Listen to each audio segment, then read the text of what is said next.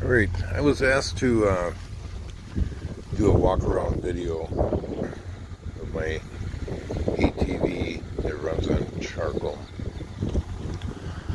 Um, it's actually pretty basic. What it is, I took a pressure tank for a well.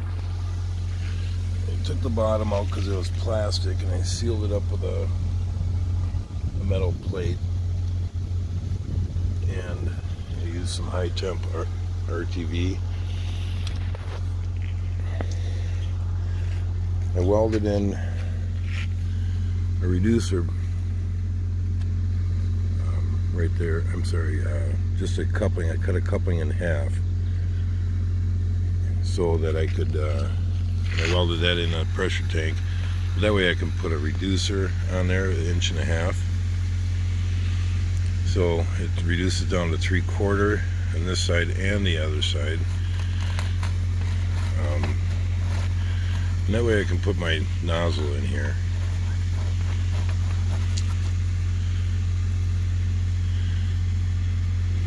So let me just see if I can get this part here. Water drip.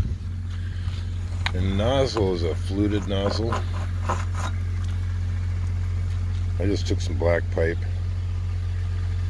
and uh, drilled some holes. They're about a quarter inch diameter holes. And they're probably about an inch apart from each other. Okay, so it'll suck air in through here. Take that plug out here. After you get the fire lit, the engine will draw draw the air in. And then this hose is for the water drip.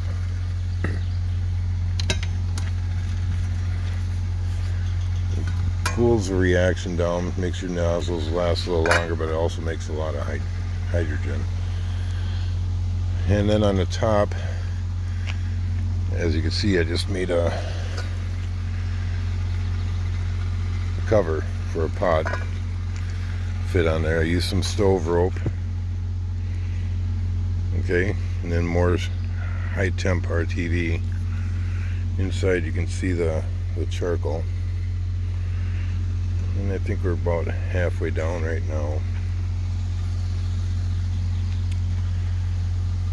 and then just the strap you, you kind of want this lid on tight right because we want a closed system you want you want it to be sealed so whatever you got to do to do that um, it kind of loosened up a little bit so I just jammed a, a hinge in here to make it seal tight.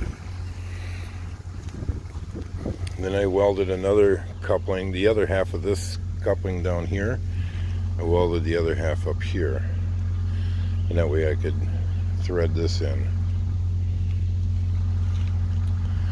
This is a Cyclone. It's kind of too big for this unit. Um, I'm going to be building another one here shortly. I think I'm going to drop down to maybe a 3 inch diameter. This is about a 6. Um, this pipe here is welded onto this plate, but it probably drops down, you know, three, four inches inside here. And as the gas and charcoal dust is coming through, it's going to spin around the whole thing, right?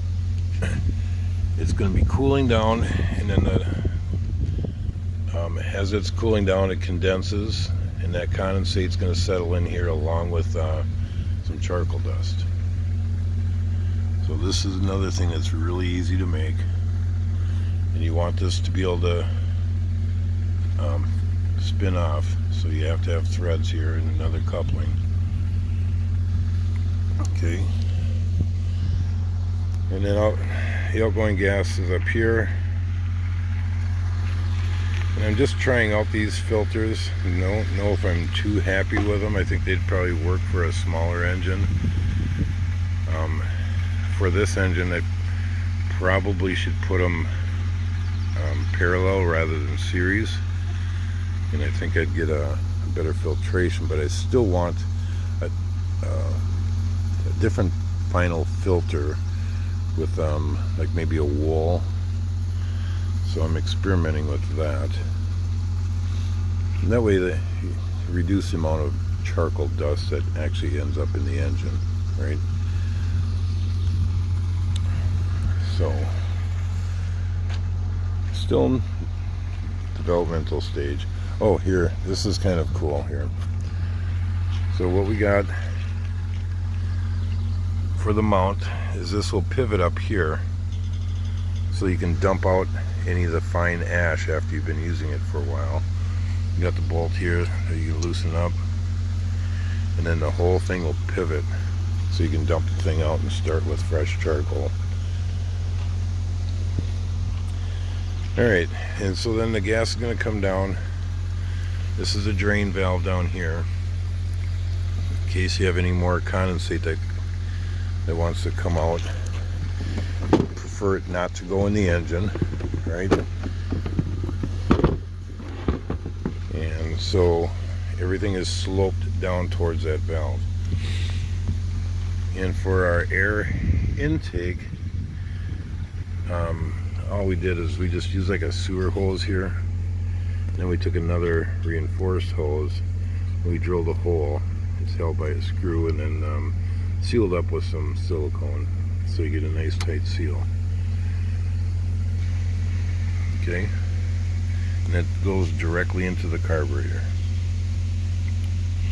So this is a hybrid. Um, I can use gasoline if I choose or I can fire it up on wood gas. And I like to start it on gasoline just so the engine's warm. It makes it for easier starting less wear on your starter. But then I like to um, after I'm done driving on charcoal I like to run on gasoline just to keep the carburetor clean. Right? So this is my air intake.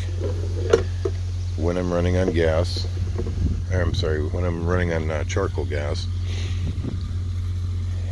And to get everything started what I do is I pull this plug right here.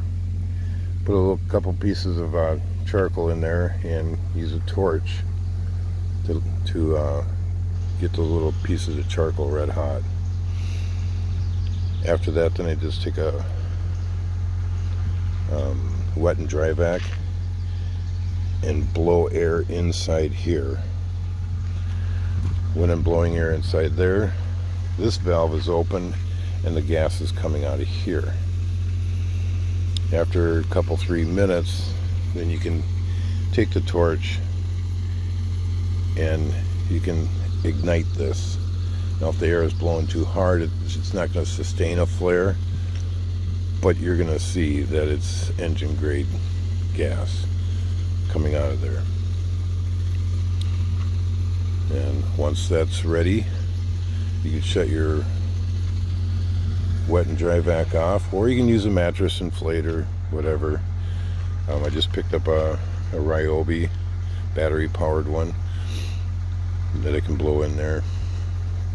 And um, you know once the gas is ready I, um, I crack this valve about halfway. I throw this air cleaner on air filter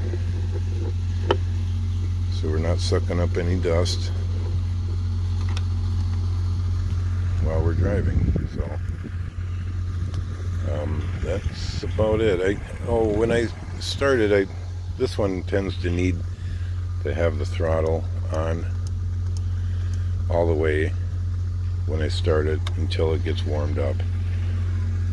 So if you have any questions just let me know. Feel free to ask